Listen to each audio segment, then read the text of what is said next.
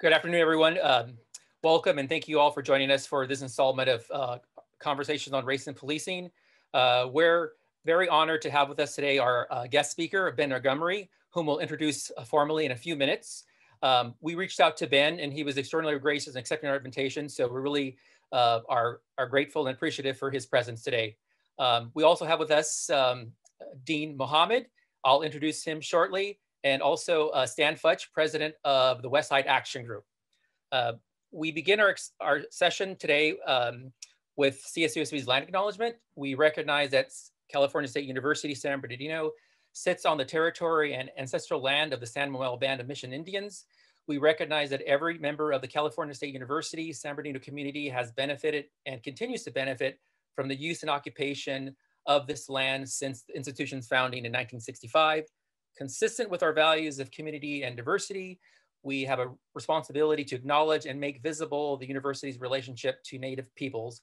By offering this land acknowledgement, we affirm Indigenous sovereignty and we will work to hold California State University San Bernardino more accountable to the needs of American Indian and Indigenous peoples. Uh, and now I'm, uh, it's a pleasure to introduce Dr. A. Rafik Mohamed, uh, Dean of the College of Social and Behavioral Sciences. He is today, he is uh, our guest moderator today. Dr. Mohamed received his bachelor's degree at George Washington University in sociology and criminology and criminal justice, uh, then went on to UC Irvine for a master's in social ecology, uh, PhD in criminology and law and society. He taught and served as chair in the sociology department at the University of San Diego and also chaired the social sciences department at Clayton State University in Georgia, all before coming to CSUSB in 2015. He is the author of Black Men on the Blacktop, Basketball and the Politics of Race, and he is co-author with Erik Fritsvold of Dorm Room Dealers, Drugs, and the Privileges of Race and Class. Uh, it gives me great pleasure to introduce today's uh, host and moderator, Dean Rafik Mohamed. Thank you very much, Robie, and thank you to you and Jeremy and everybody else for putting on this great event and for continuing, I think, this very important conversation uh, for the past many months. Um, I, I, know that uh, lots of folks would rather kind of forget about where we are in the context of race and inequality in our society, but uh, I think it's essential that we continue to have these conversations. Um, I would also like to thank everybody who's here in attendance today uh, and everybody else who played a hand in pulling this together uh, all at a distance. Uh, it brings me great pleasure to introduce today's guest speaker, uh, and, and someone with whom we will have a, a, very, I'm sure, lively conversation in just a moment. Uh, but today's guest is Ben Montgomery. I don't know if you can see it. I, I, the background's on. I'll just tell you. but he, he authored a book that I will uh, we'll we'll be sure to, to put in the chat a link to it. Um, but uh, the book is titled "A Shot in the Moonlight: How a Freed Slave and Confederate Soldier Fought for Justice in the Jim Crow South." I had the great pleasure of reading this book over the past uh, week or so, and it's a, it's a phenomenal book, and I encourage everybody to uh, read it for a variety of reasons. Uh, not the least of which is I think it does an excellent job of kind of connecting where we are now to in, in terms of issues of race and inequality in the United States to uh, other events that occurred uh, shortly after the Civil War's conclusion uh, and and since. A little bit about Mr. Montgomery. Ben Montgomery is a former enterprise reporter for the Tampa Bay Times and founder of the narrative journalism website gangrey.com. In 2010, he was a finalist for the Pulitzer Prize in local reporting and won the Dart Award and Casey Medal for a series called For Their Own Good about abuse at Florida's oldest reform school. He lives in Tampa, uh, Florida, with his children. He's the author of The Man Who Walked Backward, The Leper Spy, and Grandma's Gatewood Walk. Um, a little bit about this book before I toss to, uh, to Mr. Montgomery. Um, I, I, again, I think this book is really important. Um, I didn't know anything about it before I read it, and I really appreciate Robie Madrigal bringing this to our attention. Um, but I think the book does a wonderful job of capturing some really essential themes around social inequalities, uh, specifically as it relates to historically and also in a contemporary sense, issues of criminal justice, uh, property, uh, uh, overall disenfranchisement, uh, political representation. I also think the book does a great job of kind of painting a picture of uh, the long tradition that we have in this country of racial injustice. Um, and also, you know, in, in, a less bleak way, the kind of constant drumbeat of resistance to injustice that has uh, been there as part of our culture at every interval, uh, whether it be during uh, enslavement or whether it be uh, during uh, Jim Crow or, or even now, how people have always kind of pushed back against injustice. And, and also, I think it paints a, a good picture of people who weren't necessarily subjugated, but felt a, a, kind of a, righteous calling to lend a hand to, to a cause that they thought was more important than their own uh, personal interests. Um, it also, you know, illustrates again, I think the the importance of us understanding this history and having conversations uh, that we that we um, that we need to continue to have. Uh, as as a way to kind of introduce the book, I thought it'd be good just to read a, a little excerpt from the preface, and then uh, we will ask Mr. Montgomery to share some of uh, his thoughts on the book and and kind of explain a little bit of the story of the book. But I just have a couple of segments of the of the preface that I want to read, if, if, if you'll indulge me. And I'll start here. Mr. Montgomery writes, the problem with the Confederate flag and the granite statues of dead soldiers is that the Civil War never ended. It devolved into skirmishes and entanglements. As Nikole Hannah-Jones has written, it morphed into looser legal forms of enslavement that are just as damaging as the whip. It rages on Facebook and in classrooms and in the streets of American cities still.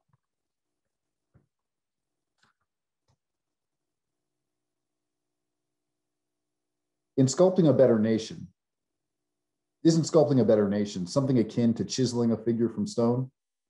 So we look to past improvements of our shared experience for comfort, to Rosa Parks refusing to give up her seat on the Cleveland Avenue bus in Montgomery, Alabama on December 1st, 1955, to the nine teenagers who enrolled at Little Rock Central High School in 1957, to the four college students refusing to vacate a lunch counter at Woolworths in Greensboro, North Carolina on February 1st, 1960, to the march by 600 activ- activists across the Edmund Pettus Bridge, through tear gas and billy clubs near Selma, Alabama on March 7, 1965, known as Bloody Sunday, to Martin Luther King Jr. on April 3, 1968, the evening before he was assassinated, telling striking Memphis sanitation workers that he had been to the mountaintop. These things we know and celebrate and memorialize. But there are thousands of forgotten events and people upon whose bones those brave activists stood.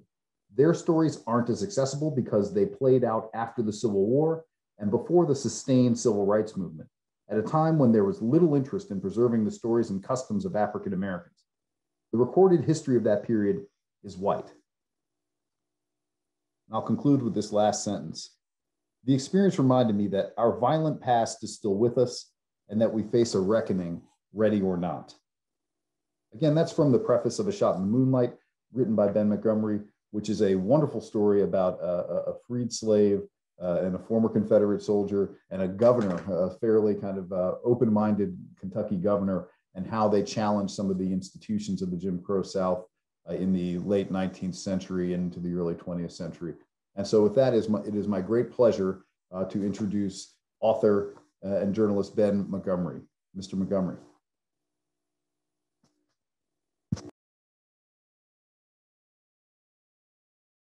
Uh, I, I, you're I, muted. You're muted, Ben. Of course I am. That's how I like to start these things to keep everybody on their toes uh, just opening up with the tech issue. Thank you, Dean Mohamed. It's uh, it's such a pleasure to join you all today, and uh, and certainly to join this uh, esteemed group of, of folks who brought this event together. I am in your debt in many ways. Um, this started. Uh, this book is a is a product of uh, my own experiences as a newspaper journalist working on a project uh, uh, about uh, police shootings. Um, and so, uh, and I'll talk about that in a little bit. I wanted to open up though by just reading the first couple of pages of this book, the opening chapter, to kind of give you a flavor of of how this uh, sounds, how I wrote it, and um, to set the stage for uh, a short telling of so the rest of the story. Um, so, if you'll indulge me for just a couple of minutes. Uh, uh, this is chapter one. The whites would be bent on revenge uh, and the, the date line is January 21st, 1897. When the guns fell silent and the white men took cover, George Dinning burst out the back of his little wooden house, wearing only his undergarments. He ran through the frigid January air and when he reached the tall grass of a nearby field, he hurled himself down flat on his back, his lungs heaving, his breath visible and rising beneath a moon almost full and what seemed to be a million stars poking through a smoky, blue black midnight sky. He lay still and quiet and listened to the men's voices coming from the north beyond the house. They sounded at first as though they were in a state of consternation, but the voices grew distant as time slid by, suggesting retreat. When he could no longer hear the voices over the heartbeat in his own ears, he sat up slowly, looked around, then darted across the field toward his house. His wife met him at the door with his boots, his heavy coat, and his hat, and he dressed quickly without saying much, then turned away from the humble home he had built with his own hands, the only home his children had ever known, the home he had defended, and he disappeared into the darkness. And I'll uh, just leave it right there. Um, uh, this book, uh, A Shot in the Moonlight, tells a story of a man named George Dinning who was born in 1855 into slavery, um, whose first public record uh, acknowledged uh, his life. His first ever created public record acknowledged uh, a couple of things that he was five years old, that he was male, and that he was black. There was no name associated with him in the slave roster uh, just those uh, uh, demographic identifiers five years old, male, and black. Um, uh, he uh, eventually was emancipated, as were other Kentucky folks who were born into slavery. Um, and he went about, he never left the area. He stayed in Simpson County, Kentucky, where he was born and raised. He started to make his own family. He got married. He eventually legally purchased from the man who used to enslave him he legally purchased about 114 acres, uh, paying that bill off over uh, several years. And he began to farm that acreage. It was on the banks of the Red River in southwestern Kentucky in this very fertile area of farmland and rolling hills. Um, and he got along. It, there was no uh, there was no issue in his life that we know of that at least created such a wave that it, it might have entered the public record uh, before this night, January 27th, 19, uh, I'm sorry, 1897. Um, he built his own cabin with his hands. He began raising a family. He, uh, he and his wife had 11 children. About half of them were asleep in his home one night January of 1897 when 25 white men, half of them carrying guns, most of them his neighbors, rode up to his property late that night and demanded that he come out. Um, this was in an era when lynching went down like clockwork. It was uh, constant news in the South. Um, you know, nearly every day's newspaper had the story about some lynching in some place, uh, mostly in the rural South. Um, and George Dinning on, on the night in question refused to come out. No wonder, right? Uh, he asked who was outside. The men refused to identify themselves. They wouldn't tell him their names. One of them disguised his voice and held a handkerchief over his mouth. Um, you know, if he could have seen outside, he would have seen men dressed against the cold air. He would not have seen any KKK caps. That wasn't a thing in that era. He would not have seen any identifiers on on these farmers and these other men who who were there uh, to suggest they were any kind of uh, an organized group, except that they were neighbors and they farmed the same uh, territory together. So they refused to come out. Um, when he asked what, what they wanted there, uh, they said that he had been stealing. They accused him of stealing, uh, taking some uh, livestock from neighboring farms. They had suspected him also of setting fire to a couple of smokehouses in the area. Um, he protested and said that he didn't do any of that and that he had good, upstanding white neighbors who could vouch for him, vouch for his character. And he offered to go fetch them, but the men refused. And during uh, this short conversation, someone opened fire in the rear of his house and a bullet came sailing through his back door. And this uh, created um, a chaotic scene. The men in the front of the house began firing their weapons.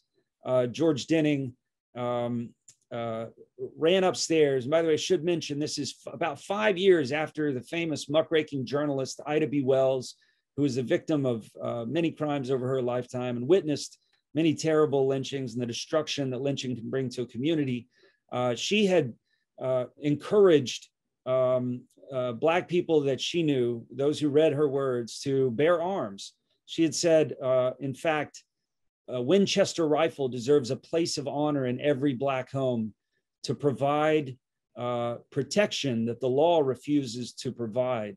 This is in the face of, again, a, a ritual, a pattern of the lynching of Black people in the South. And so Ida B. Wells' call to arms is encouraging Black people to, to at least have a gun and be ready because the law is not going to protect you against the mob. So George Dinning had a shotgun and he grabbed his and he started to run upstairs in his cabin. And as he passed a window, he took a bullet in the left arm. It grazed his left arm. He made it to the top of the stairs, and ran across the room, and threw open the shutters. And um, as he leaned out the window, a bullet grazed his forehead. He was about an inch from being killed immediately. And just as he leaned out the window, he and the bullet grazes his forehead, he has time to squeeze off one shot. And that bird shot that was uh, loaded in the barrel of his shotgun struck and killed the 32 year old scion of the wealthiest farm family in southwestern Kentucky, a man named Jody Kahn. Um, Dinning uh, immediately knew his life was in danger. Uh, so after the shot was fired and after the shooting died down outside, and by the way, there was an enormous volley of shots fired after after Dinning fired his. Uh, nobody was hit inside the house, but as soon as the shooting died down and as soon as the coast seemed to be clear, George Dinning took off running, and this is the scene that I that I just read you in this book. This death uh, set in motion a series of events that to this day remain sensational and and um, uh, and a fascinating uh, uh, um, you know, uh, an important, I argue, uh, moment in our history, in our shared history. George Dinning turned himself in uh, the following morning as soon as he found out he had killed Jody Kahn, with whom he had no beef whatsoever, uh, who he actually considered a friend and a neighbor. Um, Dinning turned himself into the local sheriff and threw himself essentially at that time at the mercy of the system. And this was a brave act. Maybe it was brave. Maybe he had no other option. Uh, we don't know, unfortunately, what was going on in his head at the time. But he uh, had previous dealings with the sheriff, and maybe there was a chance he trusted the sheriff to take care of him. But he must have known at the time that if uh, you know if he turned himself in and the sheriff couldn't protect him from a lynch mob, then he was big. You know, he he was in big trouble. The sheriff, as it turns out, was not um, was not one of these who rolled over, uh, which happened very frequently in the South, who rolled over to men with guns who stood outside demanding a, you know, a hostage or a prisoner. Uh, this sheriff uh, decided immediately that Dinning's life was in danger and he needed to be moved to the closest uh, bigger city where he could provide protection. And so he loaded him secretly into a carriage and took him across the country 20 miles to Bowling Green. He stayed there for a few days Word spread that a mob was organizing back in Simpson County. The same men who had been at his house that day uh, had returned to his home that evening. And uh, I'm sorry, the same men who were there that evening had returned to his home the next morning, trying to find him, no doubt. And when they couldn't, they held his family hostage for the rest of the day. And as night fell, uh, they demanded his wife take all of their children on two horses and ride 50 miles without stopping. They said, leave the state of Kentucky and don't turn around until you're gone. And so uh, she did at gunpoint. And as soon as she and the kids started to ride away, these same men were neighbors of George Dinning's, set fire to his house and his barns and his gear house and to his fields. And so everything that Dinning had, uh, uh, everything of monetary value was destroyed in that moment. The uh, situation in Bowling Green got so difficult that the jailer decided the only way he could protect George Dinning's life from a lynch mob was if uh, he armed the other prisoners. And so the sheriff, expecting an attack, passed out guns. You can imagine this to the other prisoners in the event the mob broke through the front door. That never happened. And, and eventually he was uh, uh, taken away to serve the rest of his time in, in Louisville to await trial in Louisville. Uh, this um, this pause created an interesting uh, set of circumstances. The members of the lynch party, uh, the member, the men who showed up at George Dinning's house uh, that evening, in order to bring uh, a conviction, in order to bring a charge against George Dinning, had to testify that, to the fact that they were at his home, right? That they had witnessed this exchange of gunfire. They had to testify to the fact that many of them were bearing arms. They had to testify to the fact that they rode up to their home, to, to their neighbor's home, uh, you know, close to midnight on a cold night when you don't just customarily pay a visit to a friend. Um, and so, in order to bring a charge against George Dinning for the death of their friend Jody Kahn, they had to out themselves as, at a minimum, members of some sort of posse who had gone late one night to try to discourage, at a minimum, to discourage their neighbor from stealing uh, anymore. Um, now, they tried to they tried to fool everybody, suggesting that they were on a peacekeeping mission and they were just there to warn him away. Um, when uh, you know none of the other circumstances suggest that that was the case. You don't go try to have a conversation with your friend and your neighbor uh, that late at night, and you don't go with 25 white guys, all of you or half of you bearing, bearing arms. Um, so, uh, so these guys, it took them a while to eventually come out and tell the district attorney uh, what they had witnessed and that George Dinning had um, had killed uh, their friend with his gunshot. Uh, once they did, Dinning, of course, was charged. Uh, the charge at first was murder. Um, he was brought back that July. This all happened in January. He was brought back that July to face trial. Of course, it was an all-white jury. Um, you know, it was just recently the case that Black people were given the opportunity to even testify in state court in Kentucky. Um, so everything that was playing playing out had a, had a uh, you know sort of a sense of newness um, it was an incredibly hot summer. The governor of Kentucky, by the way, enters the picture uh, at this at this time because he is a progressive governor. He is elected with the black vote. He is a Republican. Um, uh, he rides in this interesting wave of uh, progressive politics into Southern um, uh, people's houses and uh, and he decides he's going to dedicate himself to doing what he can to try to keep George Dinning safe. So as Dinning was moved from jail to jail, the governor was dispatching telegraphs on the regular, asking the jailers what he can do to provide support to keep Dinning safe, sending wires to Dinning's lawyers, public public public defendants, uh, suggesting that he was there to help if they needed if they needed anything, and they did eventually call upon him. Meanwhile, the governor started uh, doing what he could backstage to pass anti lynching legislation, which uh, lynching had become such an issue in the South that it brought about. Um, uh, it brought out some people who might not otherwise be concerned with lynching were it not for the negative economic impact upon the state. And so, and I think the governor kind of, although, you know, there's evidence that he really cared deeply about the lives and, and well being of Black people, there's also evidence that he wanted to bring business dollars to and tourism dollars to the state of Kentucky. And it's hard to do when you're, you know, when, when, when, when everybody has blood on their hands. Um, and so, uh, those factors were at work when he starts to pass or try to pass this anti-lynching legislation. Um, there's another fellow who's paying attention to this trial, and he's a fascinating guy. His name is Colonel Bennett Young. Uh, Young joined the Confederacy when he was a teenager. He was born into a, a wealthy family. His father owned a number of, slaves, uh, young uh, enslaved people. Young would have grown up with these enslaved people. Um, and as soon as he could, at the end of his private school education, at the age of 16 or 17, he signed up to fight uh, for the South. He was a son of the South. Um, he uh, uh, joined up with Morgan's men, who did those interesting raids into the north, into Ohio and Illinois, and some into Indiana. Um, eventually, Young's claim to fame was that he, uh, after being imprisoned in Camp Douglas in Chicago, he escaped from that jail and he convinced the Confederate administration to let him try to attack from Canada. And so he organized a band of young Confederate soldiers and they pretended they were sportsmen and they rode down south out of Canada into a small town called New Albans, Vermont, uh, pretending to be tourists. And they asked the townsfolk to show them where the guns were kept and show them where the stables were so they could get horses.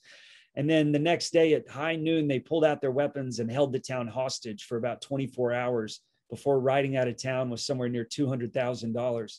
So Young, uh, after the war, went to Ireland, got a law degree, and came back to practice law in Louisville And after the war, he um, takes a deep interest in the well-being of African Americans in the state of Kentucky, and really specifically in the city of Louisville, um, to include befriending another uh, a number of African American ministers and businessmen, founding or helped fa- help found uh, an orphanage for Black children, and also taking on the cases of Black men and women who needed access to the civil courts.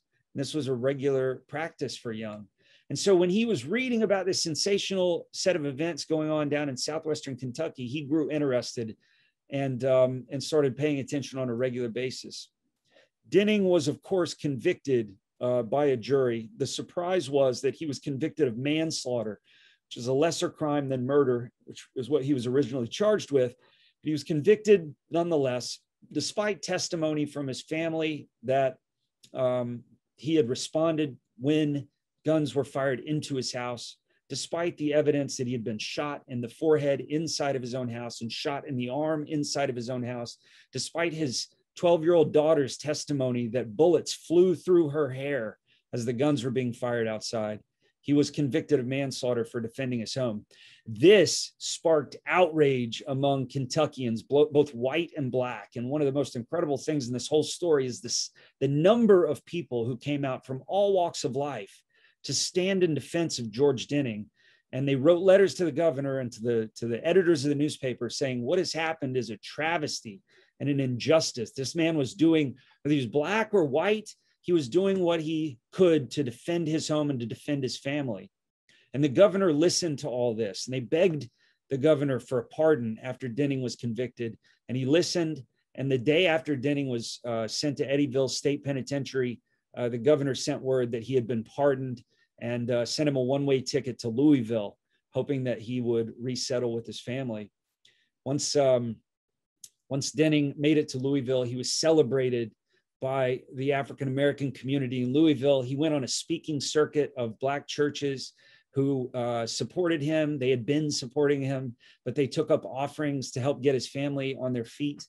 Uh, at some point, he sent for his family who came and joined him in Louisville, and they moved across the Mason Dixon line, across the Ohio River to Jeffersonville, Kentucky, which sits just on the northern bank uh, across the Ohio from Louisville. And they started to make a life there. They got a small home and um, uh, the kids were relocated. Interestingly, in family lore, by the way, as an aside, uh, when when um, George's wife Molly and the kids show up to get uh, escorted across the river to make their way across the Ohio, the family tells it that they they did so hidden inside of barrels and they don't know anything more than that unfortunately the folklore is sort of unwound a little bit so the details are few but they had to be secreted evidently across uh, the ohio river which is an interesting thing because slavery had long since ended but that point was uh, an end of the underground railroad uh, many uh, uh, freed slaves or running slaves had been um, had been, uh, you know, had gotten into the North, had escaped the South right at that juncture, you know, there, there at Louisville.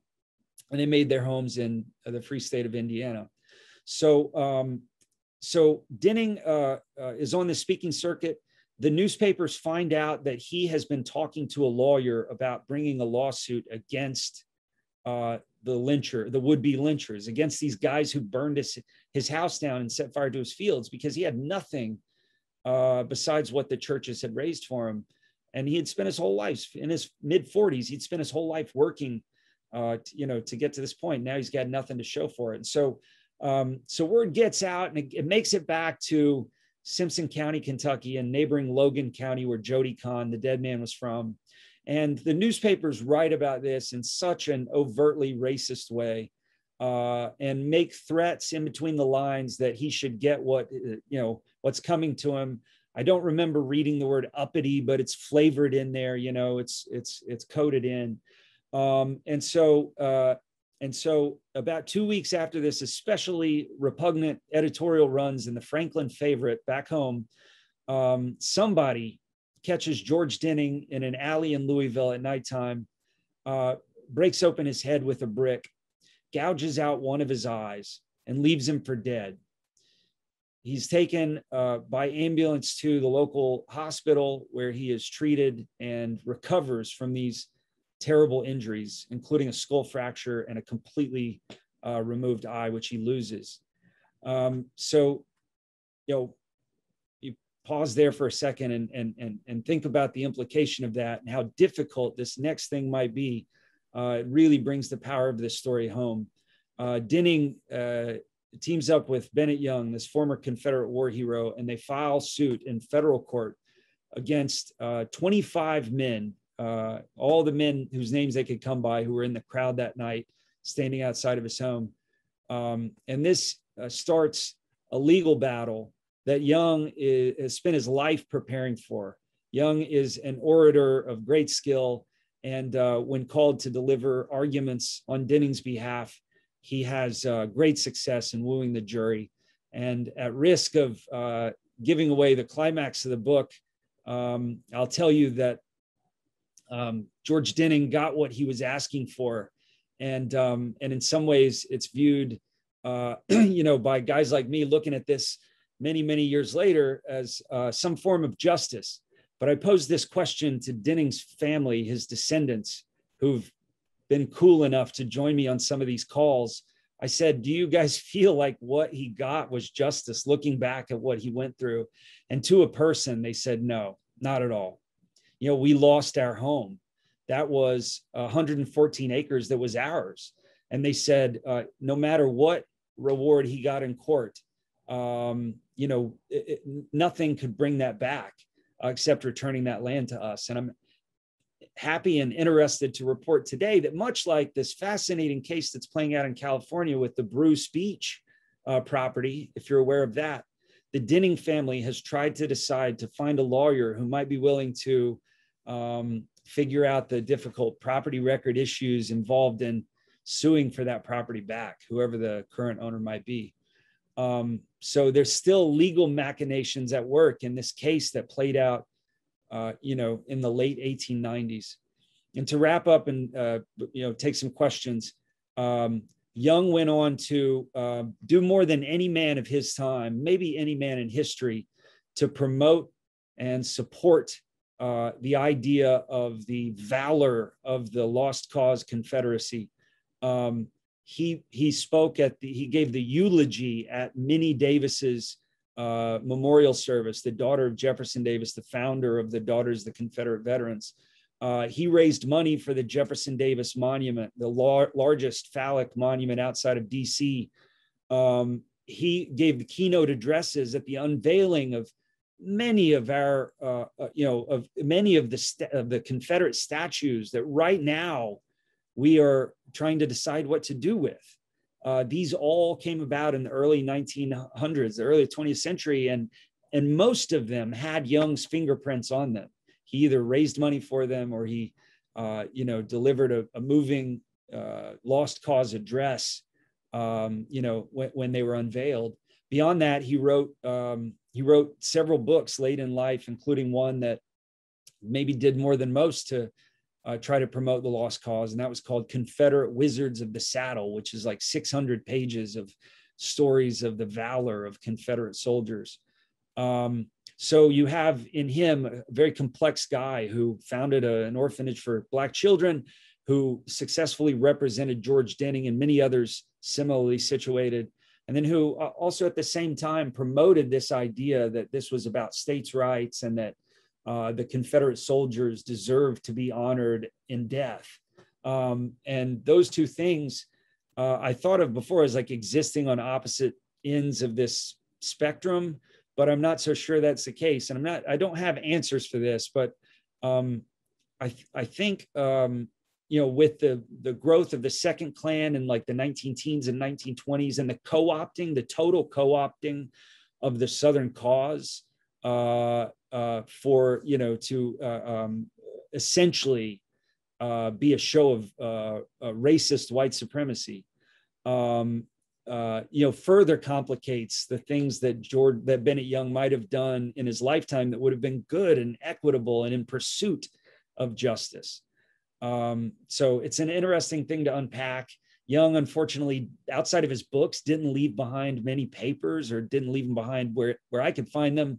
And so uh, some of what you know, some of his turning points in life, his internal uh, uh, turning points, are a little difficult to figure out. But um, but fascinating characters, and I think ultimately what it comes down to is, uh, you know, in 1864, the New York Times wrote this editorial that I thought was important enough to include in the book, part of it, and it essentially makes this is as the Civil War rages, uh, it essentially makes the case that the men of our day, this is 1864, the men of our day uh, won't be remembered for any of the political things that they're doing right now.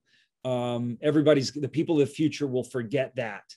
And a hundred years from now, the only thing that's going to matter for us is how we came down on that one great important question of our time, uh, the issue of slavery.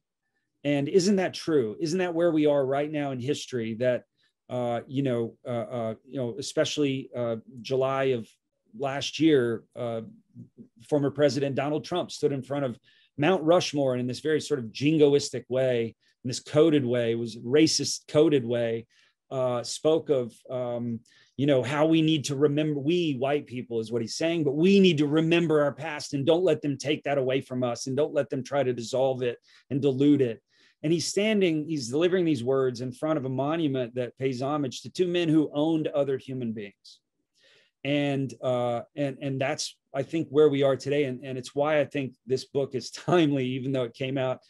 Uh, sorry, even though it was you know, dealing with an event that it happened in um, 1897. It's because this was the birth, if you will, a birth, if you will, of the same issues that we're as a as a community trying to work through today. So um, I am more than happy to entertain discussion, comments, uh, anything at all. Thank, thank you so much, Ben Montgomery, for this wonderful book. Um, one of the things I just gotta say that stood out is um, the history. So much history. Um, you not only talked about the the uh, case, but you talked about all the history around what was going on then, and it was you know you were absorbing all kinds of different things as you explained this story about this man and, and his survival, pretty much survival. At the same time, they were, we brought in lots of history, lots, and, and the one thing that I got is the financial part of it. There was always a financial side of what was going on, which is, you know, the world we live in. Um, the numbers of non-blacks that came to his rescue were huge. Um, the, the big thing that stood out to me was Confederate officers. Mm-hmm. So many Confederate officers stepped up to the plate and did the right thing. And, and there was a real transition of uh, doing the right thing, not only to him, but to the country at that time. Was, and, and like you said, it was very complicated because Kentucky folks in Kentucky were fighting on which side of the war they're going to be on. That's one thing they had going on, and a, mo- and a lot of them went to the Confederacy. But in this book, you see so many of those Confederates doing the right thing because right. it was the right thing to do. And and and, and like you said, um, Young, wow, what a complicated individual that, that guy was. Um, went to Canada, did the, the most northern attack on the Union than anybody in history. And then comes back from Europe and becomes this lawyer fighting for the cause of the black man, which is just amazing. So uh, thank you so much for this book. I know uh, Rafik has a million questions, so I'm gonna, I'm gonna let him jump in here right now. But thank you for the book. Thank you very much. Well, thank, you, thank you, thank you for uh, for that commentary and toss, Dan. Um, I mean, I couldn't agree with you more. Just um, you know, one of the things I really loved about this book is the narrative thread is continuous, right? It's it's it's the story of George Dinnings and and and you know his you know relationship with these other kind of two primary characters, especially uh, Bennett Young. But there are all of these other I don't want to call them subtle subtle themes, but these other kind of tangential threads yes, yes. that really kind of paint this wonderful picture of everything that was going on then but as I said earlier, like connect us to some of the debates we're still having. Um, and and so I, I guess you know the, the first question I have, and I, I, want, I wanted to remind everyone who's here that the Q and A is open. So if you have questions uh, for Mr. Montgomery, you're welcome to put them into the Q and A, uh, and and we'll try to get to those. Um, but in the meantime, I'm happy to ask some questions of my own, right? And, and I won't try to monopolize too much. But I guess the first kind of general question is that I have is, um, is you talked about, you know, your motivation for writing the book, right? You talked about looking at uh, police shootings, for example, as something that kind of got you to think about this. Um, I, I, wonder if you could just, you know, I, I, I would think that there are a number of different ways you could have approached this story. And so I, I, I, the question I have is like, what other, what other approach were you considering? Like, uh, what was this the only narrative, the only way you could tell this story, or was there another way you were thinking about it and this one kind of took over? How, how did you come about the process of choosing this particular thread to tell the story? Uh, if you don't mind sharing that. Yeah, not at all. I appreciate the question. And uh, let me just give like a little bit more uh, on the genesis of this, and maybe it helps answer that question. Uh, I was, I came into the, I was a newspaper guy uh, for years and years, but I, 2013, I think, uh, the shooting, right after the shooting of um, Michael Brown in Ferguson, Missouri. Um, uh, right after that happened, I had read an editorial in the Washington Post that said, um, it's unfortunate that we uh, that nobody keeps track of the number of times police shoot individuals in the United States, and that right now is common knowledge. But at that point, and I read the paper every day. At that point in time, that was the first I had ever heard of this. I had just done a story about the number of purse snatchings in Florida. Like the Florida Department of Law Enforcement could tell me how many times a purse got snatched in Florida, but they couldn't tell me how many times an officer, a licensed officer of the law in the state of Florida, shot a citizen. Nobody had that number. And there are reasons for that. Uh, but uh, we don't want to get into that right now. But I was angry and I came to this meeting and I said, How can we know if we have a problem? Or, or you know, ha- nobody can say if police are shooting more blacks than whites. Nobody could say that without the numbers. We can make guesses based on what we see, but nobody could say that without the numbers. So, how, as a society, do you move forward without the data? And I'm mad about this in the staff meeting. And my boss, God bless him, he said, Do that story. Tell me how many people get shot by police in the state of Florida. And I, of course, you, you know, bit off way more than I could chew.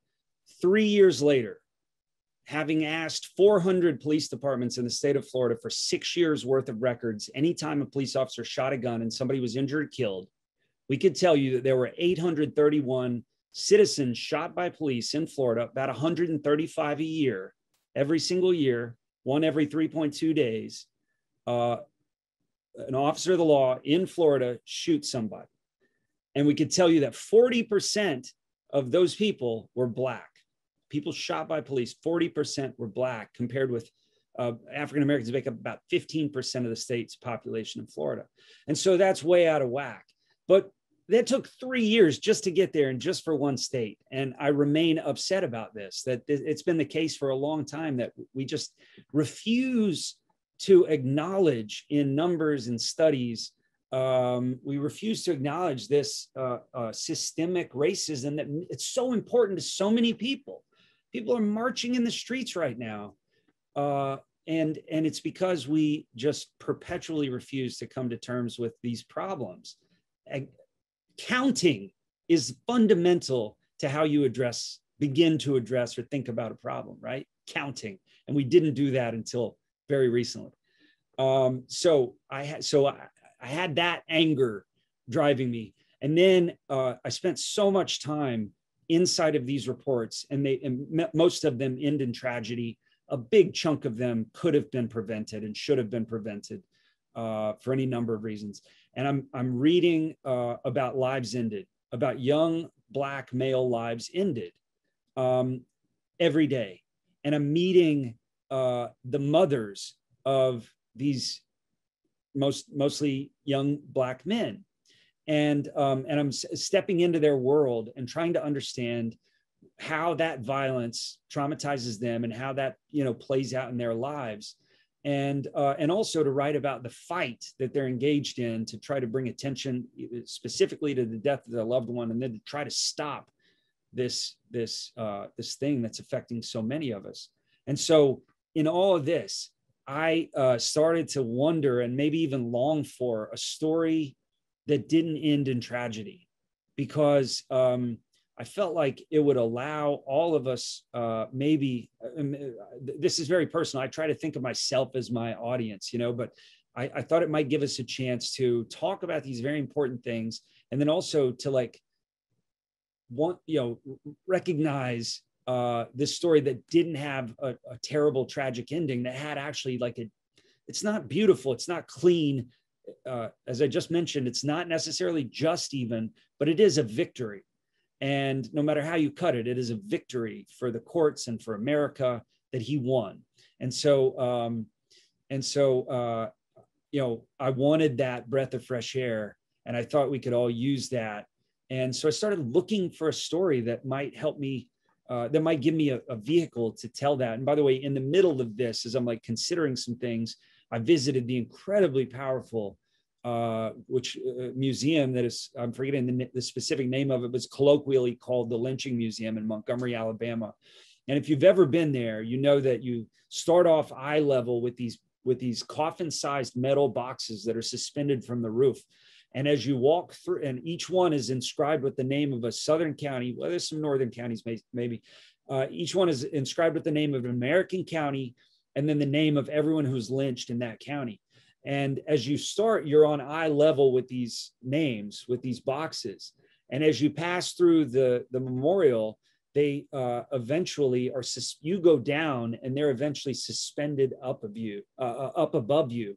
And I had this, uh, this moment of um, uh, power uh, experiencing that, where I nearly lost my feet by the gravity of the names of 4,400 victims of lynching in the United States.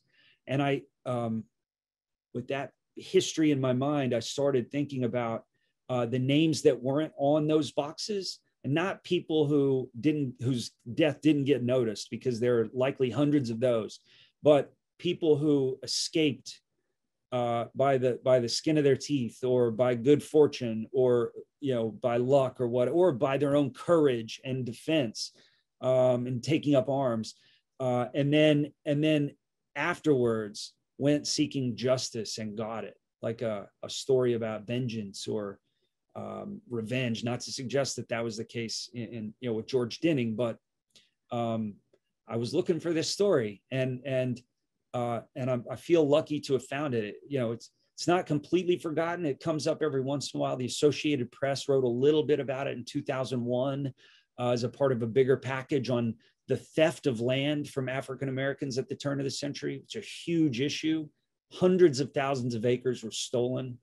Um, uh, and so, um, you know, this, I, I, I felt like uh, fit the bill. If I had a hesitancy, not to dom- dominate this whole thing, but it was that I have white skin. And uh, I'll just be candid about this as possible.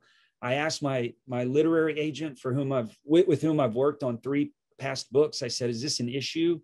um, should it be an issue? And she said, I, am not sure. She was uncertain about it. So I talked to friends. Uh, I, I, ran it by some really smart people. Um, uh, and ultimately, I, I reached out to the Dinning family. Uh, it was a little bit difficult to track them down. It took me a, a while because Dinning, once he uh, left the state of Kentucky, he changed his name to D E N N I N G, so slight, slightly different spelling but I eventually connected with uh, with his family, and they welcomed me in, and we had that conversation. Is this okay that I'm this guy who's trying to tell your great grandfather's story? And uh, uh, you know, I wouldn't have done it without um, without their uh, blessing. And so, um, yeah, that's my response. Well, thank you for that. And, and you, you kind of, you suggest in the book um, uh, uh, that inspired a whole another list of questions, by the way. So, uh, and don't worry about dominating. It's hey, it's your show. But uh, you, you you mentioned the book. Even um, you speculate as to why George Dinning changed his name from Denning to Denning. Uh, uh, I mean, I'll, I'll allow you to say that if you if you if you don't mind. Yeah, his. so we don't know exactly. Unfortunately, he he never um, could never read or write, and so what exists on the public record uh, about him is always from someone else's perspective. It's always, or him being quoted in a newspaper article or something like that. So unfortunately, between the family lore and what exists on the public record, we don't know his specific reason for changing the name. But it was pretty common for folks to uh, who had gotten out of, you know, who, who had been emancipated uh, or had left a certain situation, uh, eschewed their last name by changing it from, um, you know, from the name of the person who uh, owned them. Um, or you know sometimes signifying that with an x before the name. And i think that would come come about later become more common later certainly. Uh, and so you know whatever the case or it could have been you know trying to get out of the public spotlight because there was a while there. This case was sensational. The new york times hired a correspondent to cover it. There were many newspaper reporters in the courtroom when all of this was playing out and so it could have been uh, trying to get you know get find a way to get out of the public spotlight just to live his life peacefully uh, you know after he relocated to to um, jeffersonville. Uh, ben i think you covered it in your book. Uh, you said that when after the beating when he went to the hospital because of his condition the nurses put his name spelled his name wrong which took the reporters three days to find him that's because right. they didn't know it was the actual Dinning who had gotten beat up. So I think it was the nurses who changed his name as opposed to him changing his name. That's right. Uh, yeah, you're you're you're reminding me of that uh, that nugget. Isn't that interesting? Uh, yeah, yeah. Now you you mentioned. Um, you, so I'll go back to something you said just a second ago instead of some of these other pressing questions that I have. But you mentioned that uh, you mentioned the, the scope of the victory, right? And again, not trying to give away the ending of the book because it, it is like a page turner in that way, right? Uh, and and I love how you kind of bring it to the present in, in the final chapter. I think that that's just remarkable. Um, uh, but you mentioned the scope of the victory and, and how it's not an absolute victory. And I'm not going to push back on you; it's your book. I, but I do think you know, looking at the context of that time, uh, you know, and, and even like then tying in what you just said about the New York Times sending a correspondent down there to cover this, you know, one has to think, number one, that if there wasn't this much public attention, there's no way that the outcome would have been as just as it was in, in either instance, right? Whether, whether it be the criminal uh, proceeding or, or, or, the civil proceedings, right? But, um, but also uh, still like it was, at least my understanding of it, uh, it was such an anomaly, right? Where where even like fundamental questions of justice could be considered because some of the things that come up in and you, you, again this is like some of the beautiful little kind of tangential pieces in this book like you talk about for example you just mentioned it's like a, it's like a throwaway line almost but you mentioned uh, the fact that he's he, he's tried before an all-white jury yeah. Right? and and and while you know most people you know, I, I guess you know a lot of people would say well, what's wrong with that, right? I mean, and, and you also mentioned Ida B. Wells and uh, her her argument about a Winchester rifle and everything else. You know, these are fundamental, like the Second Amendment that people cling so dearly to, or you know, the due process clause and, and of, of the Fifth Amendment and then the Fourteenth Amendment, all that other kind of stuff. Like these are things that, like values that we say are fundamentally American but historically have been systematically denied to black people right? So in the case of like a jury a, a sixth amendment uh, you know trial jury by your peers or whatever you know that's something that you know black people were were by law excluded from serving on either grand juries or trial juries uh, throughout most of the history of this country after even after slavery. And then it wasn't until the 1980s in in, uh, in kentucky where you know finally um, the Supreme Court ruled that peremptory challenges, for example, can't be used just to create an all-white jury when you have a black defendant. Which is wild. And so there's just like this, these kinds of things in the book. I just think are amazingly powerful, and and I, I think you know would would cause someone who's reading it or listening to it or or whatever the case may be to kind of think about how all of these other things are connected. And I do want to bring it back to one thing that that you mentioned. You mentioned the, the lynching museum, um, and and and the number, just the sheer number, there's 4,400 folks uh, who have been known to have been lynched, right? And and and I, I hadn't even thought about the people who got away, hmm. um, but but I, I I wonder if you could reflect a little bit on because I think I think Dinning's story kind of tells this too. And then I have one other question about property loss, and then I'll, and then I'll leave you alone for a while. But but but he uh, but but talk a little bit if you don't mind about kind of what you see as the the purpose of lynching uh, uh in in that period? You know, like like what was its function? Yeah, well, uh, well, I think um, I, I wrote about uh, an unsolved lynching in 1934 in Marianna, Florida. This is much later than the George Dinning thing played out, but uh, it involved 5,000 people who had driven from nine southern states to participate. And um, so uh, I think lynching served a couple of different purposes. If they were uh, those big kind of spectacle lynchings, uh, I, I think that is uh, human barbarism and sadism and mob uh, insanity. Um, I don't know how else uh, to explain that sort of situation. Maybe some people who have, uh, some academics have studied this, no doubt. But you know, I read descriptions of that 1934 lynching of Claude Neal that kids who were two years old poked his corpse with sticks. And I don't know how you bring your two-year-old uh, in any age in which you know we have not we weren't barbaric like that during the civil war for heaven's sakes right? Uh, we weren't we, we weren't we didn't bring our two-year-olds to poke sticks uh, at, at corpses in 1776 like there was no graduation from that. That is um, impossible for me to understand. Uh, so but those often uh, were meant to scare everybody who saw anything about it in the newspaper or on the radio or later on on television, um, they were meant to just send fear into the hearts of, uh, you know, of, of Black people across America. Um, the ones on a smaller scale uh, were often about theft. They were often about property theft. And if you could, you know, uh, accuse someone of a crime like George Dinning. They accused him. They, they didn't even name uh, the the property owner who allegedly was violated. They wouldn't. That never came out. Not at trial. Not while they were having a conversation with him. So I think it was made up more than likely, or they would have said, "We've got Farmer McGee here. He says that it was you who stole his chickens." You know what I mean? And that never. That was not part of uh, the case at all. And so I think they were there to get his land. And I think if he didn't go willingly, then they were going to kill him and hope that they were above the law. And I think that was representative of a lot of lynchings. Uh, you know, the bigger ones send a message, and I write about some of these. But send a message and let let every black man and woman and child in the South know, uh, you know, the the threat and the danger that exists for them. And then the smaller ones were, we want your property, we want your things, and uh, you can't stop us from taking them.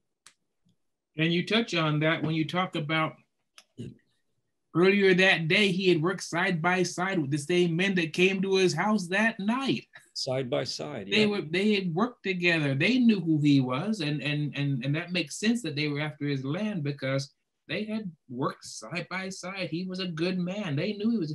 And and I, and one thing I want to talk, touch on before uh, Rafik goes further is I think a big part of this case was the fact that Dinning was well spoken.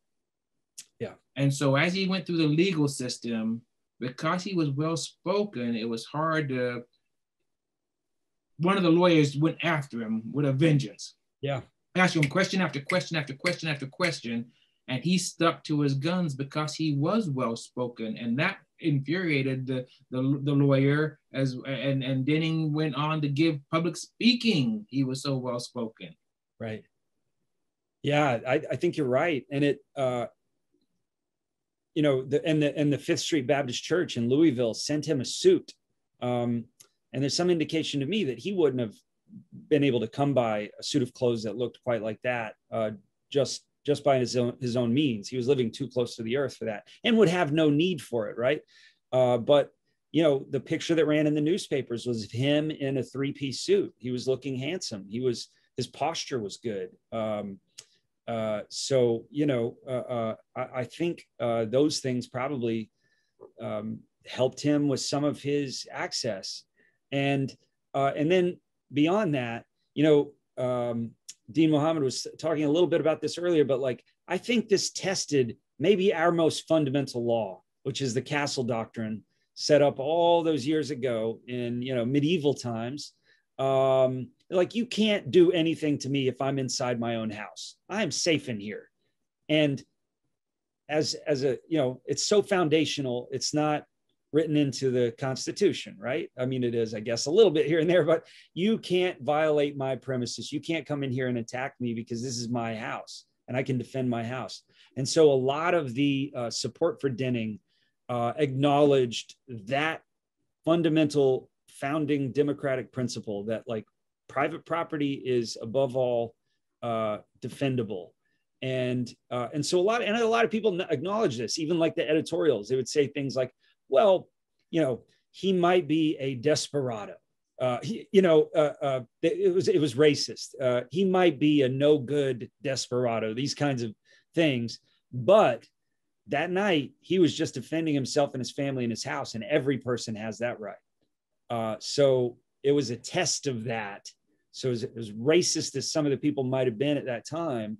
They recognize the value of that law no matter who you are. And if they and if we say that this you know the the, the castle doctrine does not apply to people of color.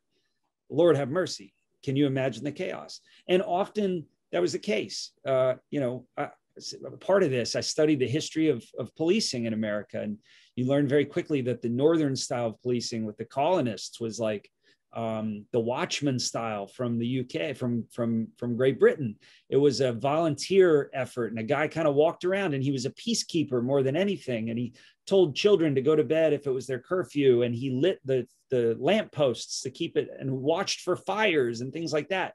The Southern style of policing was slave patrol, and and and that primarily it gave vigilantes uh, the right essentially to do whatever they thought was necessary to try to disrupt insurrection. And more often than not, that was completely unjust. It was breaking up church services for Black people. It was it was uh, violating their their private space in search for guns or you know any tools of insurrection. Um, it was asking for papers, stopping them, traffic stops before we had traffic. Right? These were foot traffic stops, but show me your papers. Show me that you have the right to be out here and um and so the veins of that you know were bequeathed to uh those those those who came after um I forget where I was even going with the history of with the history of policing in the United States. Sorry, I get off on. Uh, but, the, the low, lowest of man, and that oh, right. he, described him was a friendless person. He right. was friendless, and that's the lowest of man but he still had the right to protect his home. Yeah. And they yeah. tried so hard at his criminal trial to uh, sully his character. Uh, all the men who had testified uh, were basically called back up to say, to, and they were asked the question, what, what do you know of the character of, of, of George Dinning?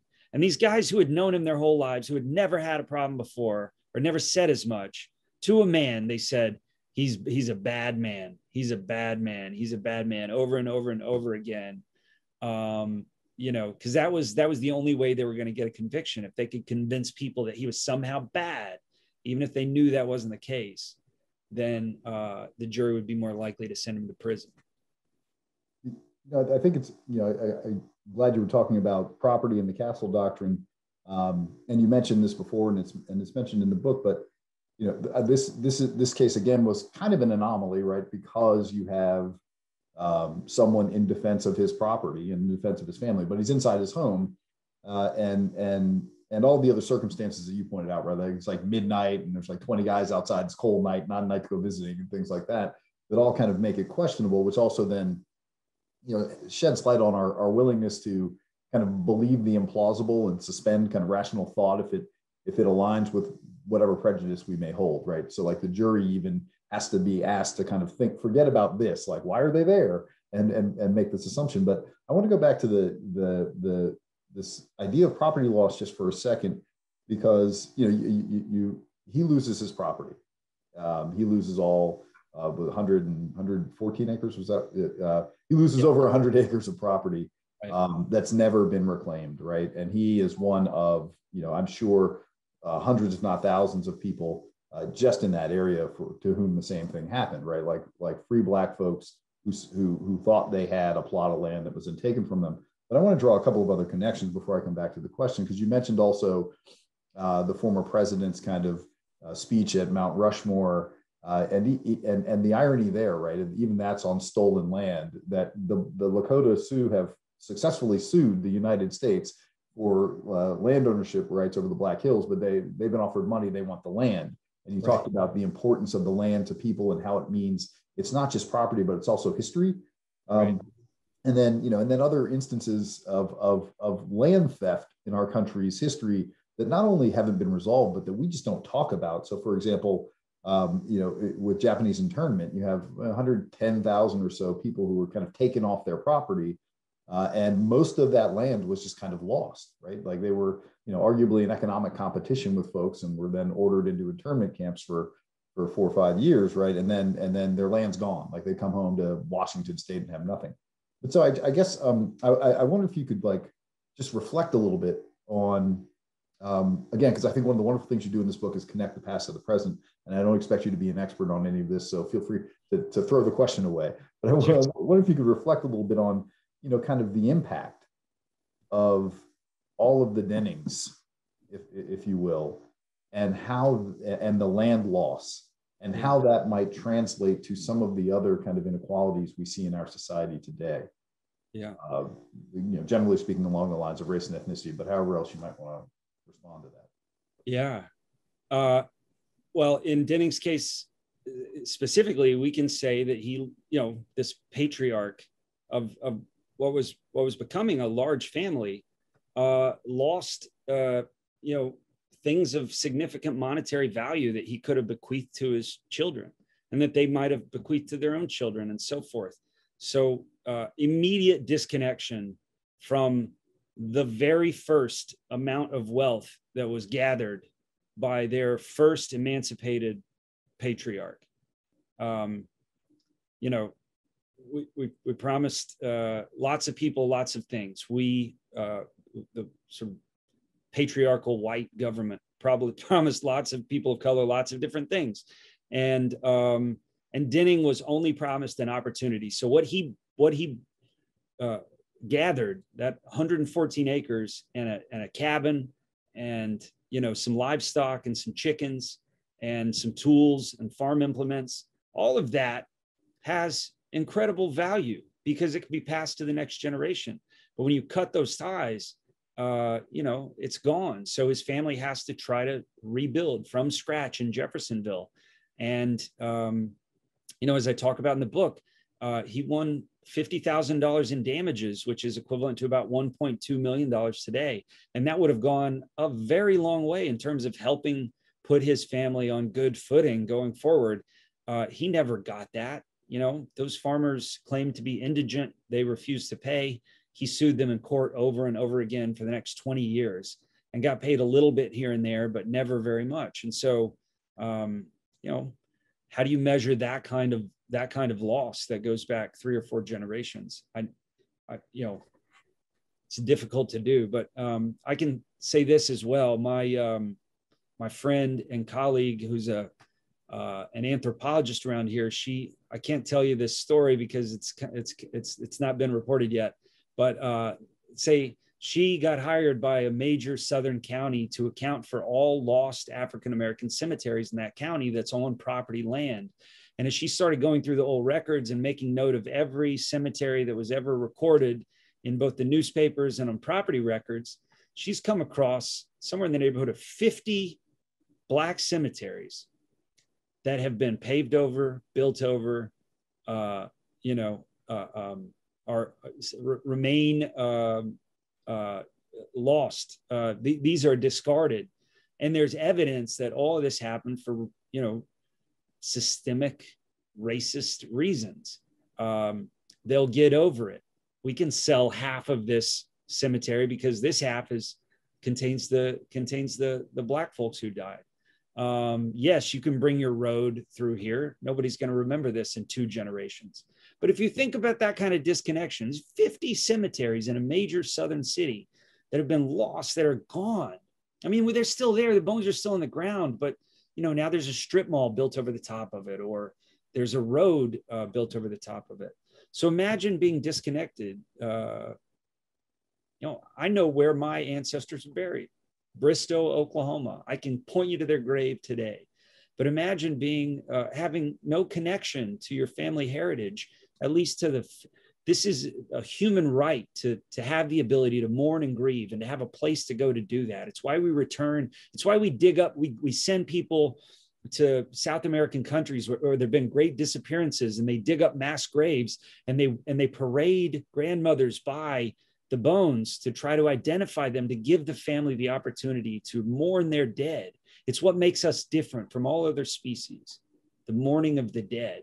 And um, and so think about how many if that's one american city think about how many people across the south and across america at large have lost connection to their family history in that very specific and important way. Um, you know it's a big deal. And it's something that is just now coming to the into the atmosphere. I mean we're we're, we're we've got our hands full with the police violence for heaven's sakes. Uh, you know uh, um, but there are a lot of other issues that that that need addressing and need that kind of attention. Um, it's a big big issue. Yeah, you know, and you, and you mentioned, you know, you were just talking about, uh, yeah, you know, again, not to give away the book, right? But you know, uh, uh, Dinning's grave site, you know, his, his, actual burial site, no one kind of, no one knows where it is. This is where I was going. Yeah, I forgot to mention that. But yeah, we can, we don't know where George. I mean, they know the grave, they know the cemetery, but he's got no headstone. It's the records are lost to time. Yeah, and and you know, I think it's again, there's another, I think, brilliant aspect of this book is you know, you again, you begin talking about these shrines to the Confederacy, and you and you and and toward the end, you talk about Bennett Young's support for the Confederacy, which you already mentioned, kind of the introduction of the book, and how all of that is an insistence that we remember these things, but then not having, for example, all of these black cemeteries or not having monuments to enslavement, uh, right. it, it, not as tribute, but as you know, it allows us not to allows us to think of the Confederacy in a different way from how we thought about what it stood for in a lot of ways, right? And so I think oh, yeah. you do a really masterful job just kind of you know, kind of interjecting these these curious points of juxtaposition throughout the book. Um, and and and you know, I think the the, the last thing I'll say for now uh, uh, is is um, you know, again, one of the things you say in the very beginning, but I think Young's story really captures this and how you described it well. Uh, you, you, say at the very beginning, um, uh, all public men will be judged, and and you know, when you were presenting, you know, Young, who's this you know tireless, you know, kind of advocate for Dinning and others, right? At the same time, he's also this tireless advocate for remembering the Confederacy. Um, and and and and this isn't to you know excuse people who I think are you know irreparably flawed, but and I don't think he's one of those people. But it is to say, you know, as we're looking back at history, I, I don't believe the argument that people are just a man of their times or whatever it is, right? Uh, people make choices, but but people are complicated, and I think the way you present Young's story in this book really kind of gets to the heart of that uh, as well. So so thank you for doing that. Um, I, there is a, a, a question, question, in chat, if I could ask you, you a question, um, where uh, the the person writes. Um, well, first there's a there's a thank you in the chat. This is thank you for this session. I read and enjoyed Grandma's Gatewood Walk. And as a result of this excellent session, I purchased a shot in the moonlight. So cha-ching, there's one, one sold okay. for you right there. Uh, but the uh, next, uh, the, the, the, the, next question uh, comes from, uh, let's see, Michael, Micah Ramo. Uh, it says, this happens in East, East Texas. Many landowners break the tombstones because they're unsightly. It was an uncomfortable fact to accept when I lived in Hallettsville, Texas. How do you help people recover that kind of history? Hmm.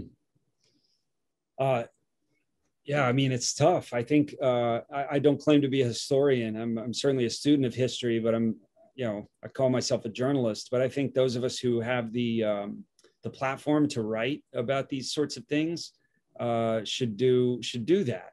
You know, these are stories that are waiting to be told.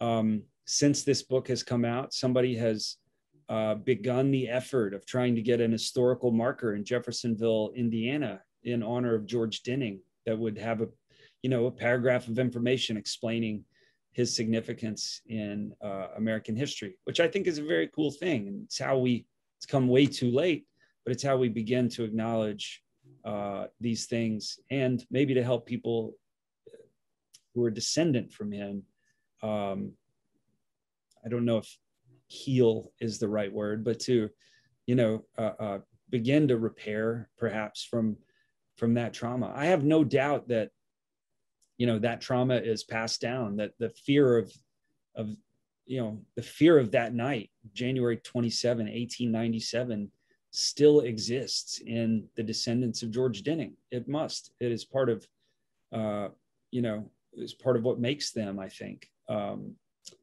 so uh, you know, so we gotta we we gotta step up and tell these stories uh, in a big way, I think. And like I said, there, there, there's it, it, comes in this period of, of time of American history when the, the history is white. It's written by, you know, by and large by white people, but there's still voices out there that can be identified that were either white and sympathetic with the with the cause of freedom and justice, or uh, or they they were written by um, by by black people including Ida B. Wells. And she is one of many. And it turns out there were many, many Black newspapers at that time and doing great work, very brave, independent Black journalists who are doing, uh, doing that great work. Um, but even some of their newspapers are difficult to access right now, uh, where like lots of more mainstream newspapers have been uploaded and are now digitally searchable.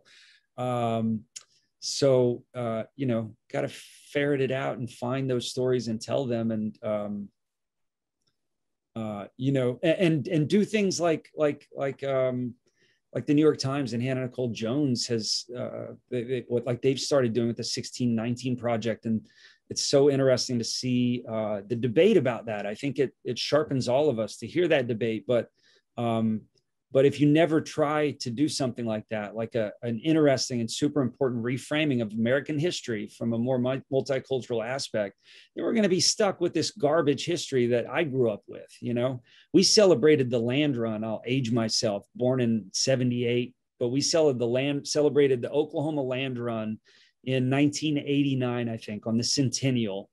And we, all the kids, so I was what, nine or 10, all the kids I remember, we dressed up like pioneers and they took us across the street to the, to the football field and they gave us stakes and they uh, told us to run across the field and hammer our little stakes into a square. And that was the, that was our land. And that's where we could have our picnic lunch. It was a recreation of the Oklahoma land run. And nobody ever mentioned that this land had previously been promised to uh, people from different tribes who had been marched at gunpoint uh, at the cost of thousands of lives uh, from places in the southeast to uh, to Oklahoma, and we're told, "All right, this is yours. This is yours now, forever." Except not forever because we're about to take it back. You know that was never a part of that history lesson, and uh, so it's up to us now to try to correct a lot of this stuff. It's not just the black experience. Uh, it's incredibly important part of it, but it is the experience of a lot of different Americans who um, uh, you know who uh, have been ignored by white people uh, for several hundred thousands years, whatever it is. Yeah, you mentioned in the book that um, how each of the witnesses were called back to the stand to um, put down uh, George Dinning. Uh, so I'm going to let Mary uh, bring it to today on what's going on with the um, George Floyd case. Mary. We talk about that ahead of time? I, I wasn't aware that I that I was going to be talking about. I do I, I, I do have some comments though that that have directly to do with George Floyd. When you said sully his character, uh, we're seeing that today. Yeah. And there's a there's an emerging field in psychology called epigenetics, in which uh, they argue that that there's a kind of PTSD that is passed down from generation to generation to generation. And i think we're we're experiencing that. I have spoken with so many african americans on twitter and facebook and in person who have said i cannot watch this trial. Mm. I cannot watch it because it is just too painful and I, and and so it it makes perfect sense that you you you suggest that his family is still feeling this. Yeah. Uh, and one of the one of the hardest things to convey to students is this idea of wealth and inheritance. Um, we you put a face on a, a property that was not inherited, that failed to be inherited. But we don't know the faces of Rosewood or Tulsa, yeah. or uh, recently in in uh, in California, in Southern California, it's Bruce's Beach. Beach yeah. Uh, yeah. And this, this beach is, is, has been valued at about $75 million. And this was taken away from this family, law abiding family, early in the, the, the 20th century. And, uh, you know, I was recently speaking with, um, with uh, some filmmakers in, in Boston, and they gave me a figure that was just unbelievable. The white wealth in Boston is $200,000, over $200,000, and black wealth is $7. Wow. That I, I I could not believe it. But these folks are they're filmmakers. They have been living in Boston all their lives and and had to include that in their film. Um, but I, I, think when it comes to Black wealth, white wealth, uh, Latino wealth, you know, it's inheritance. You know, mm-hmm. what what do we what do we get from our our parents and our grandparents and great grandparents? So I thank you for putting a face uh, on on someone whose land was stolen because uh, we don't see the faces, we don't know the faces, we don't um, we don't know about Ida B. Wells, uh, uh, her newspaper business being burned out, and she had to flee Memphis to uh, go to Chicago um, because she was afraid they would do to her like what they did to, to uh, her friends. So uh, I, I, guess I don't have as much a question as just a thank you. Thank you very much. This is very special. And I want people to know who are in our audience that we have been getting these wonderful people to come in and talk over the last uh, almost year now since the death of George Floyd and have not paid anyone. I don't know if you wanted to make that public, Ben, or what, but, but these, these folks have been coming in and have just been so generous and so gracious with their time. And, uh, and so I doubly want to thank you for doing that. Oh, thank you so much. Very kind of or, or did you not know you weren't getting paid? Is, it was that, is that it's not about the money. Uh, it, it, thank you for, for that, uh, Dr. Texeira. And um, I, I do, I, do, appreciate that you brought up, you know, you brought up Tulsa, you brought up Rosewood. And the other connecting point is the other thing we often don't talk about. I mean, these are individual stories. Um, we we pay more attention maybe to to the policy. So you mentioned you mentioned uh, the the the land rush in Oklahoma.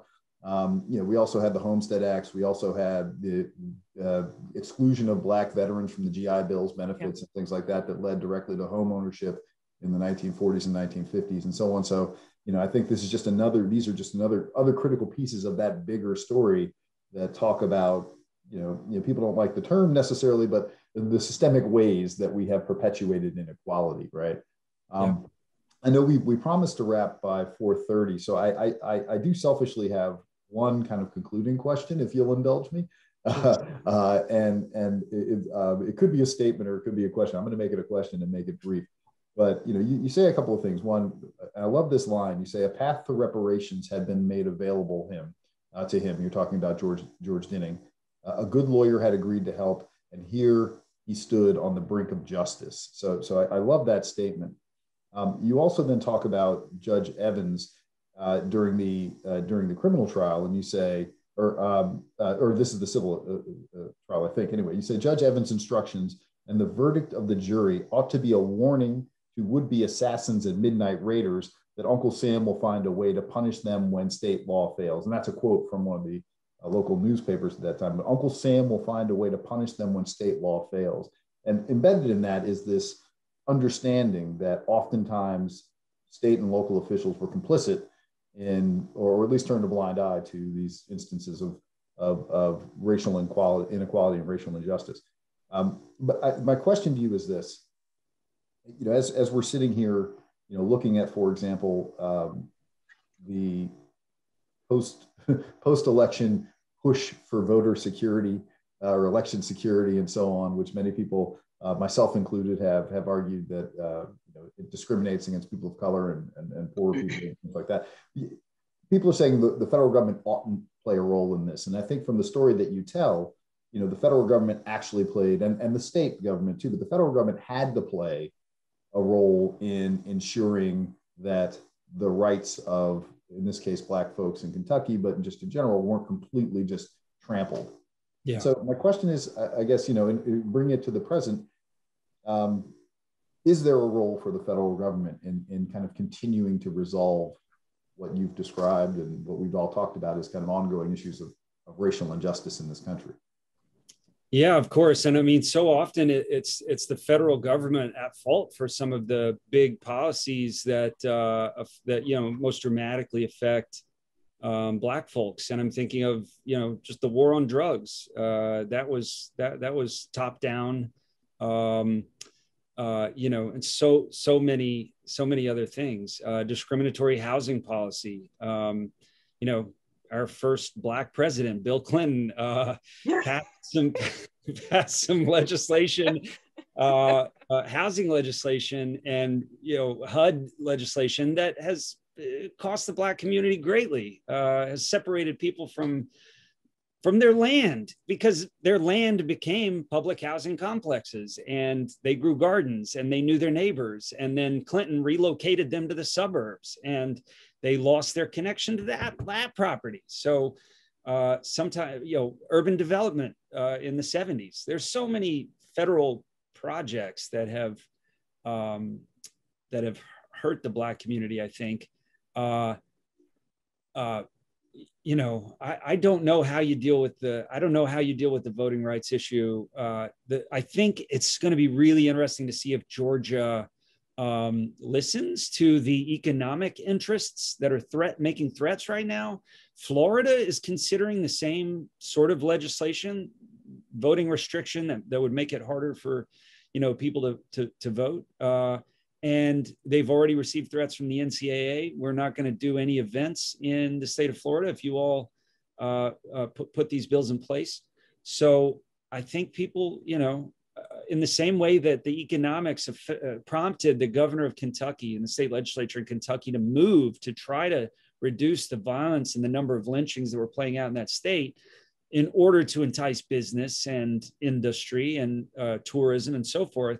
Um, uh, you know, in in that same way, it'll. I think this will have an effect. So maybe the maybe the uh, federal inter- intervention isn't um, totally called for quite yet, but um, you know, isn't it interesting that we're still playing playing uh, working those things out all these years later? Uh, we're still figuring out where states' rights ends and where um, you know federal government has the right to step in.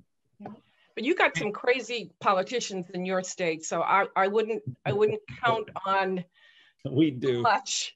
Uh, it makes, it, makes it a great state to be understanding reasoning and and and logic. right. What are your hopes for thank, Florida? Thank you so much, Ben, for joining us today. Uh, so much history. I, that that book was uh, amazing. And those that are still participants that are still with us, if you can get your hands on the book, read it. It's a very uh, educational book and um, a good show. And thank you, uh, Dean uh, uh, Mohamed, for joining us today and uh, uh, stepping in. We appreciate it. Thank you so much, Mr. Futch, and nice to be with you all. I really appreciate it. Nice to meet you, Ben. The, the book care. is fantastic. As Stan said, anybody that hasn't read it should go read it. It's a wonderful read. Uh, and I don't offer that praise lightly. So thank you very much. Now that you spoiled the end of it for me. no, there's still there's still some cliffhangers in there for you. there it is. Um, so so yeah, Thanks, I, I, don't know if Jeremy wants to sign off for the group. Uh, otherwise, I'll happily just or Stan, you just brought it to a close. Stan, why don't you take us away again since I stepped so, Like I said, thanks, thanks again. Uh, so much, so much information. I thoroughly enjoyed it, and I I still will enjoy the ending. Thank you. Thanks. Bye bye. So much, everybody. Take care. Take care.